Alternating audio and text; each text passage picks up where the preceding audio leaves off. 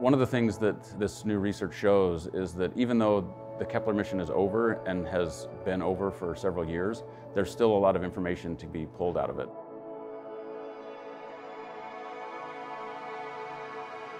This is kind of a rebranding of all of the data analysis. So it's the best that we can do at actually measuring the proper orbital periods of the planets, um, measuring their correct sizes. There's new information about the sizes of the stars, and so all of these things are fed into this catalog. So it's kind of the ultimate catalog of the Kepler planets. And so by looking and studying these other kinds of planetary systems, we get a better sense of what our own history is and how our own history diverges from the history of these other systems.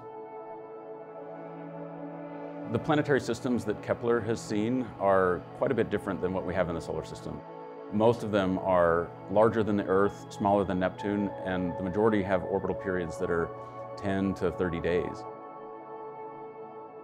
Somehow, some way, the solar system avoided forming a planetary system like these Kepler systems. And if it had, if the solar system had formed the way these other planetary systems formed, then we, we wouldn't be here.